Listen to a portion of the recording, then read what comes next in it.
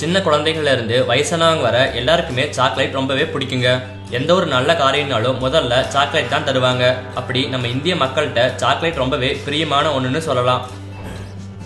ஆனா சமீபத்தில் நடந்த ஆராய்ச்சியில சாக்லேட் சாப்பிட போற கடைசி தலைமுறை நாம தான் ஒரு ஷாக்கிங்கான ரிப்போர்ட் சொல்றாங்க. அது என்னன்றது பத்தி இந்த வீடியோல பார்க்கலாம். எல்லாரும் விரும்பி சாப்பிட்ற சாக்லேட்டோட இனிப்பு சுவைக்கு கோகோ மரத்துல இருந்து கிடைக்கிற கோகோ பீன்ஸ் தாங்க பயன்படுத்துறாங்க. அப்படி மரத்துல இருந்து வர காய் கொஞ்சம் கசப்பு தன்மையா இருக்கிறதால அதோட இனிப்பு சேர்ந்து சாக்லேட் தயாரிக்கிறாங்க.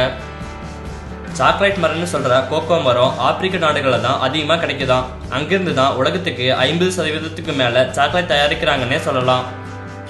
சமீபத்தில் அமெரிக்காவை சேர்ந்த தேசிய கடல் மற்றும் வளிமண்டல ஆராய்ச்சி நிர்வாகம் சேர்ந்து அங்கே ஒரு ரிப்போர்ட்டை ரெடி பண்ணியிருக்காங்க.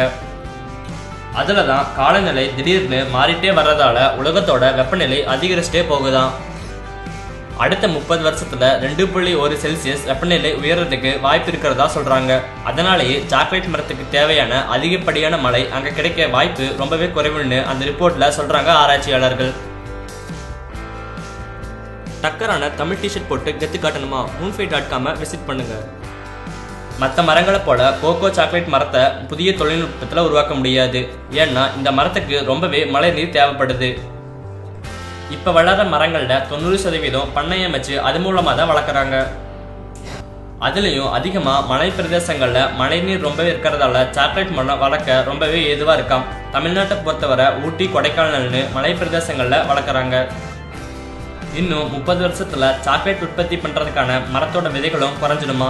அது மட்டும் இல்லாம வருஷத்துக்கு ஒரு லட்சம் டன் சாக்லேட் பற்றாக்குறை ஏற்பட வாய்ப்பு இருக்கிறதாவும் சொல்றாரு. இது ஆராய்ச்சி செஞ்ச ஒருத்தரான டங் ஹாங்கின்ஸ். அடுத்த வீடியோ பார்க்கறதுக்கு முன்னாடி கீழே இருக்கிற சப்ஸ்கிரைப் பட்டனை கிளிக் பண்ணி எங்கள் ஃபுல் மீல்ஸ் சேனலை மறக்காமல் சப்ஸ்கிரைப் பண்ணுங்கள்